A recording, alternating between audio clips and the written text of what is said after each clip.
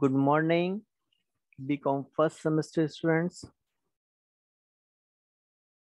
मैं doctor S K Bansal आज आपको बिज़नेस कम्युनिकेशन के पेपर में ओरल कम्युनिकेशन का टॉपिक पढ़ा रहा हूँ।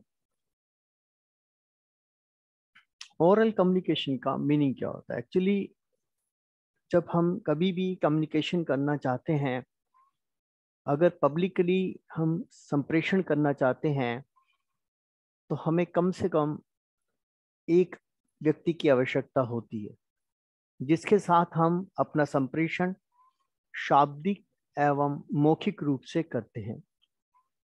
हम अपने दिन, जीवन की जो दिनचर्या है, उसमें ज़्यादातर समय हम बोलने में ही व्यतीत करते हैं। तो ये एक विशिष्ट कौशल होता है हमारा और इस विशिष्ट कौशल की आवश्यकता ही कम्युनिकेशन को प्रभावपूर्ण बनाती है। एक्चुअली जब कोई व्यक्ति बोलता है तो उस व्यक्ति की पारिवारिक, सामाजिक, धार्मिक और सांस्कृतिक और शैक्षिक पृष्ठभूमि के बारे में हमें पता लगता है। और जब हम सार्वजनिक रूप से बोलना चाहते हैं पब्लिक एड्रेस करना चाहते हैं तो it is very important art क्योंकि ये जो आर्ट है, हम अध्ययन से, चिंतन से, मनन से और अनुभव से सीखते हैं। जो कम्युनिकेशन है, उसमें जो प्रेजेंटेशन है, वो क्वालिटेटिव नेचर का ज़्यादा होना चाहिए, ना कि क्वांटिटेटिव अर्थात हमारी क्वालिटी अच्छी होनी चाहिए। और बिज़नेस के संदर्भ में जब हम बात करते हैं तो हम ओरल कम्युनिकेशन ना कहकर हम इसे बिज़नेस प्रेजेंटेशन कहते हैं। इसका मतलब जब हम बिज़नेस के संदर्भ में बात करते हैं तो यह कम्युनिकेशन यह प्रेजेंटेशन किन उद्देश्यों के लिए हो सकता है? ये हो सकता है नवीन उत्पाद या सेवा न्यू प्रोडक्ट्स और सर्विसेज़ को लॉन्च करने के लिए मॉडल्स के लिए लेआउट के लिए, हमारी ऑर्गेनाइजेशन की पॉलिसीज़ के संदर्भ में, या कभी कभी हम, जैसे वस्तुओं की सेवाएँ वस्तुओं और सेवाओं को बेचने के लिए कॉन्फ्रेंस के लिए सेमिनार के लिए प्रेजेंटेशंस के लिए प्रेजेंटेशंस टू सबॉर्डिनेट ग्रुप्स के लिए, या कभी कभी हम प्रेजेंटेशन टू हायर मैनेजमेंट्स के लिए भी हम ये प्रेजेंटेशन देते हैं। और कभी कभी हम अपने सबॉर्डिनेट्स जूनियर से सजेशंस या उनकी प्रॉब्लम्स को सुनने के लिए भी हम उनके साथ कम्युनिकेशन करते हैं। तो बिज़नेस के संदर्भ में ये कम्युनिकेशन ना कहलाकर प्रेजेंटेशन वर्ड यूज़ होता है जब हम किसी बात को कहना चाहते हैं। तो it is very important point संदर्भ में। अगला टॉपिक क्वेश्चन आता है कि हमारे सामने कि पब्लिक प्रेजेंटेशन की ज़रूरत क्या है। पर्पस क्या है? उद्देश्य क्या है सार्वजनिक प्रस्तुतिकरण का? सबसे मुख्य उद्देश्य है सूचनाओं को देना। जब हम कोई सूचना व्यावसायिक संगठन में अपने अधीनस्थों को सबॉर्डिनेट्स को या अपने सुपीरियर्स को देना चाहते हैं तो इसके लिए हमें पब्लिक प्रेजेंटेशन करना पड़ता है। पब्लिक का मतलब यहाँ जनरल पब्लिक नहीं है, यहाँ पर अपने ऑर्गेनाइजेशन के संदर्भ में बात कर रहे हैं। तो एक व्यवसायिक संगठन में लक्ष्यों को, संदेशों को, विचारधाराओं को फैक्ट्स को और जो चेंजेस हैं, उनके बारे में रिसर्च के बारे में इम्प्रूवमेंट्स के बारे में प्रोडक्ट इनोवेशंस के बारे में और कंज्यूमर्स के बारे में जब हम कोई सूचना प्रदान करना चाहते हैं तो इसके लिए जो ये उद्देश्य, जो मुख्य उद्देश्य हमारा नज़र आता है, वो है पब्लिक प्रेजेंटेशन का कि टू प्रोवाइड इंफॉर्मेशन दूसरी उद्देश्य ये भी है कि हम जो लोग हमें सुन रहे हैं, उनको इवेल्युएट करना, उनकी भावनाओं को देखना, समझना, उनको एनालाइज करना, विश्लेषण करना, दूसरा मुख्य उद्देश्य है पब्लिक प्रेजेंटेशन का. तीसरा है परस्विट करना, प्रभावित करना. हम लिसनर्स को अपने विचारों से प्रभावित करते हैं, अपने मुख्य उद्देश्यों के बारे में बताते हैं। उनके बारे में उनका नज़रिया ढूंढना की कोशिश करते हैं। उनके द्वारा जो प्रतिक्रिया दी जाती है, उसको देखना पड़ चाहते हैं। और चौथा मुख्य उद्देश्य होता है ट्रेनिंग, प्रशिक्षण देना। जब हम कर्मचारियों को सामूहिक रूप से प्रशिक्षण देना चाहते हैं ऐसी स्थिति में हमें पब्लिक प्रेजेंटेशन करना पड़ता है ऑर्गेनाइजेशन में। फॉर एग्जांपल जब न्यू एम्प्लॉयज़ ऑर्गेनाइजेशन में आते हैं तो हमें उनकी ट्रेनिंग प्रोग्राम्स करनी होती है, उनको कार्य प्रणाली के बारे में बताना होता है, उनको कार्य पद्धति के बारे में बताना होता है। इसके अतिरिक्त जो बहुत सारे कोऑपरेटिव के आधार पर फॉर्मल प्रोग्राम्स होते हैं, उनके कारण भी वो भी एक मुख्य उद्देश्य होता है प्रेजेंटेशन का। यहाँ तक क्लियर हो गया होगा आपको। अब अगला प्रश्न हमारे सामने एक और आता है कि what are the factors which are affecting the presentation प्रस्तुतिकरण को प्रभावित करने वाले कौन कौन से घटक हैं? सबसे पहला जो फैक्टर है, वो है बॉडी लैंग्वेज एक प्रेजेंटर जो है, उसकी जो बॉडी लैंग्वेज है वो एक प्रभावपूर्ण असर डालती है उसके रिज़ल्ट पर। बॉडी लैंग्वेज में लगभग उसकी 50 परसेंट रोल होता है और उसी की जो बॉडी लैंग्वेज है, उसके आधार पर जो लिसनर्स हैं, जो श्रोता हैं, ऑडियंस है, उसके बारे में एक अपनी मान्यता बना लेते हैं। इस बॉडी लैंग्वेज के अंतर्गत हम उसकी पर्सनल अपीरेंस को भी ध्यान में रखते हैं, क्योंकि पर्सनल अपीरेंस एक प्रभावी ढंग से हमें प्रभावित करती है, अर्थात प्रेजेंटर को प्रभावित करती है। उसके वस्त्र, उसके आसपास का वातावरण, उसका सुव्यवस्थित ढंग से खड़ा होना, उसके कपड़ों का ड्रेसिंग सेंस फॉर्मल होना चाहिए। दूसरा है, इसी में, पहले में ही बॉडी लैंग्वेज में ही हम कहेंगे वॉकिंग आपने देखा होगा, बहुत सारे लोग जब प्रेजेंट करते हैं तो थोड़ा थोड़ा मूव करते रहते हैं। जैसे आपने मोटिवेशनल स्पीचेस देखी होंगी, उनमें भी, या जब कोई प्रेजेंटर प्रेजेंट करता है तो धीरे धीरे घूमता सा रहता है, चलता सा रहता है। एक्चुअली उसका चलना उसके आत्मविश्वास को बताता है। एक सकारात्मक प्रभाव, उसके हाव भाव उसके गैस्चर से, उसके एक्सप्रेशन से फेशियल एक्सप्रेशन से पता लगते हैं, जो उसको और ज़्यादा अधिक प्रभावी ढंग से बना देता है उसके लेक्चर को। आँखों से हमें पता लगता है उसकी गंभीरता का, उसकी साख का, उसकी फ्लेक्सिबिलिटी का। दूसरा फैक्टर है वॉइस जो ध्वनि है, जो उसके बोलने का तरीका है, उसमें जो उतार चढ़ाव आते हैं, वो किस प्रकार से नियंत्रित करता है किस प्रकार से वो अपनी टोन को नियंत्रित करता है वॉल्यूम्स को नियंत्रित करता है पिच को नियंत्रित करता है अपनी स्वर गति को स्पीड से। जिस प्रकार से हम क्लास में पढ़ाते हैं तो हमने देखा होगा कि हमारे पढ़ाने में वॉइस के वॉल्यूम पिच टोन और स्पीड में उतार चढ़ाव लगातार रहता है। तो ठीक उसी प्रकार से, क्योंकि ये क्लास में जब हम लेक्चर दे रहे हैं, ये भी एक प्रेजेंटर है करना है। इसी प्रकार से व्यवसाय में भी इस चीज़ का एक बहुत महत्वपूर्ण रोल होता है। तीसरी मुख्य जो फैक्टर है वो है श्रोता का विश्लेषण ऑडियंस एनालिसिस इसके अंतर्गत हमें ऑडियंस के बारे में देखना होगा कि ऑडियंस की संख्या क्या है, उसका एज ग्रुप क्या है, उसका शैक्षिक पृष्ठभूमि क्या है, उसका अनुभव क्या है, उसकी राष्ट्रीयता क्या है, उसका रीजन वाइज वो किस क्षेत्र को बिलोंग करता है, क्योंकि हमें उसी के अनुसार शब्दों का चयन करना होगा और जो वाक्य विन्यास का स्तर है वो भी उसी के अनुसार हमें बनाना होगा। ये एक बहुत महत्वपूर्ण पॉइंट है। उसी के अनुसार हमें उदाहरण प्रस्तुत करने होंगे जिससे कि वो व्यक्ति उसे संग से समझ पाए।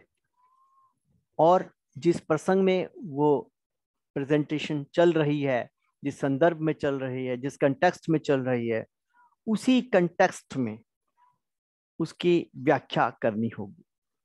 इसके अतिरिक्त हमें ये भी देखना होगा कि जो हमारे दर्शक हैं, जो ऑडियंस है, उसकी अपनी बॉडी लैंग्वेज क्या है, वो किस प्रकार से फीडबैक दे रही है। जैसे आपने देखा होगा, वो कानाफूसी करने लगते हैं जब बिल्कुल शांति से सुन रहे हैं तो इससे पता लगता है कि प्रेजेंटर ने किस प्रकार से उनको पकड़ बना रखी है उनके ऊपर। चौथा फैक्टर है कम्युनिकेशन का एनवायरनमेंट अर्थात संप्रेषण का आसपास जहाँ प्रेजेंटर और लिसनर दोनों बैठे हैं ऑडियंस बैठी है, उसके आसपास का वातावरण, जिसमें सबसे महत्वपूर्ण जो बिंदु है, वो है इंस्ट्रूमेंट्स यंत्र। किस प्रकार से हमारा जो माइक है, हमारा स्पीकर है, आसपास शोर तो नहीं हो रहा है, मंच कैसा है, प्रकाश व्यवस्था कैसी है, तापमान कैसा है मतलब बहुत सर्दी हो रही है तो किस प्रकार से वहाँ पर लोग बैठे हैं, ये भी एक जो एनवायरनमेंट है, वो हमारे संप्रेषण के, हमारे प्रेजेंटेशन के कम्युनिकेशन को प्रभावित करता है। पांचवा है प्रेजेंटेशन का मेथड मेथड में तीन तरह की बात है, तीन तरीके से हम बता प्रेजेंटेशन देते हैं। नंबर एक तो रीडिंग प्रेजेंटेशन जिसके अंतर्गत हम प्रेजेंटर जो है वो लिख के ले आता है और वो क्रमबद्ध और शुद्धता के साथ लिख के लाता है और उसे पढ़कर सुना देता है। सामान्यतः शोध पत्रों में, समझौतों में, कार्यसूची में, प्रस्ताव में और तकनीकी ज्ञान के संदर्भ में और जो पॉलिसीज़ के हैं बारे में, इस बारे में सब डाटा लिखित में लेके आते हैं, जिसे पढ़ के सुना दिया जाता है, जिससे कि एक्यूरेसी हमारी बनी रहे, जो प्रेजेंटर कहना चाहता है और जो वो देना चाहता है ऑडियंस को, वो सही ढंग से बता पाए। इसमें उसे इस बात को ध्यान में रखना चाहिए कि उच्चारण और व्याकरण बहुत शुद्ध होनी चाहिए। और इसके लिए उसे अपने आप को रिहर्सल करके पहले पढ़ लेना चाहिए कि उसने जो बोलने जा रहा है, वो क्या शब्द लिखे हैं। दूसरा तरीका, एक मेमोराइज तरीका है, जिसके अंतर्गत जो प्रेजेंटर है, वो लेक्चर्स को नो, याद कर लेता है, छोटे से पर्ची पर अपने नोट्स तैयार कर लेता है और उन बिंदुवार उन्हें पढ़ना शुरू करता है।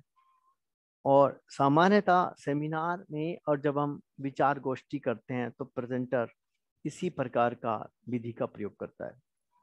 तीसरा है एक्सटेम्पो तत्कालिक, जिसमें वक्ता जो है अपने ज्ञान के आधार पर वैसे इसमें नोट्स बनाता है, लाता है, लेकिन फिर भी कभी कभी उन बिंदुओं पर अपने ज्ञान का, अपने अनुभव का और अपनी वाकपटुता के आधार पर प्रेजेंटर अपने लेक्चर को बहुत अच्छा बनाने की कोशिश करता है और करता भी है।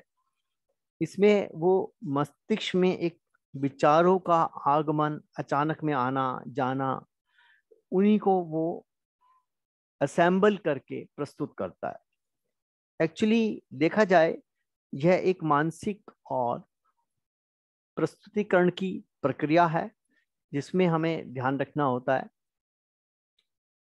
छठा हमारा है कि प्रेजेंटेशन का लेआउट किस प्रकार से होता है। यहाँ पर जो हम बात अपना लेक्चर डिलीवर करने जा रहे हैं, जो कम्युनिकेट करना चाह रहे हैं, जो प्रस्तुति देना जा रहे हैं, उसका, उसमें तीन बातों को ध्यान में रखना चाहिए बिगिनिंग मिडल और एंड बिगिनिंग में सबसे पहले जब प्रेजेंटर को प्रेजेंट करना चाहिए तो सबसे पहले उसे अपने कुछ कथन जब वो प्रस्तुत कर रहा है, करने, शुभारंभ करने जा रहा है तो सर्वप्रथम उसे अभिवादन करना चाहिए।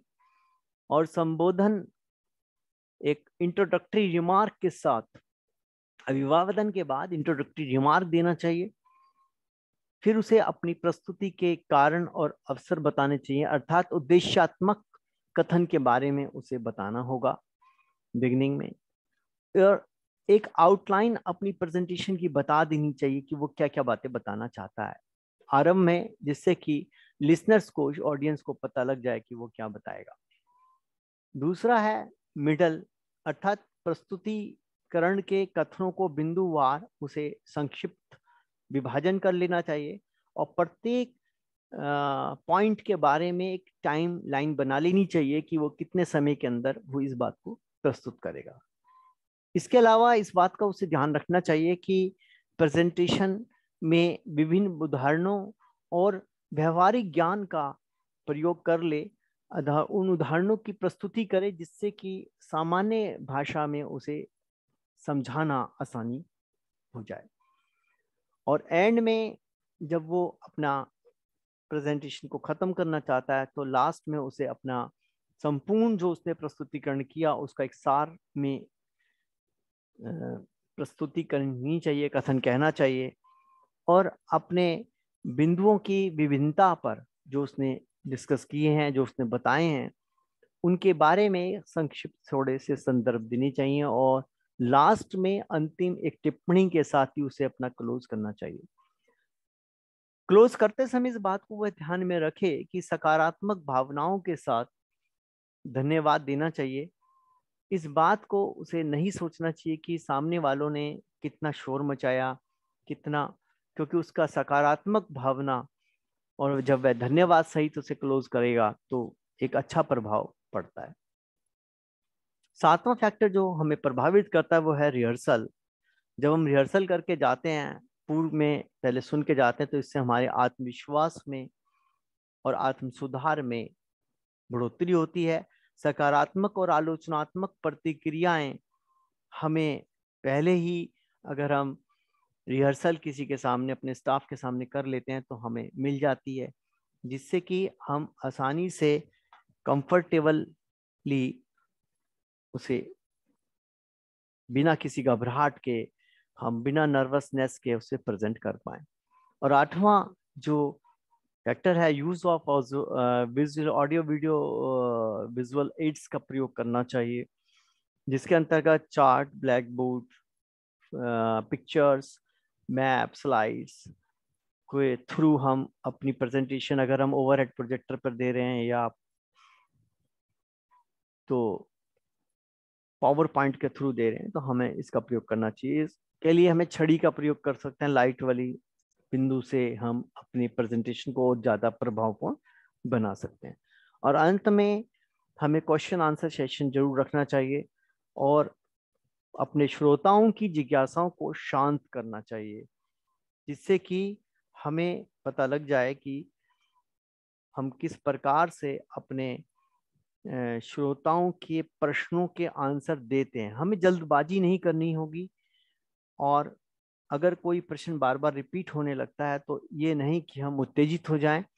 हमें सापेक्षिक प्रश्न के संदर्भ में उसकी व्याख्या कर देनी चाहिए। और जितना कूल माइंड से हम उनके प्रश्नों का उत्तर देंगे, श्रोता हमारी बात को ज़्यादा प्रभावपूर्ण ढंग से हम उन तक पहुँचा पाएँगे। ये हमारा ये हुआ हमारा कि किस प्रकार से ऐसे कौन से फैक्टर्स हैं जो हमारे प्रस्तुतिकरण को प्रभावित करते हैं।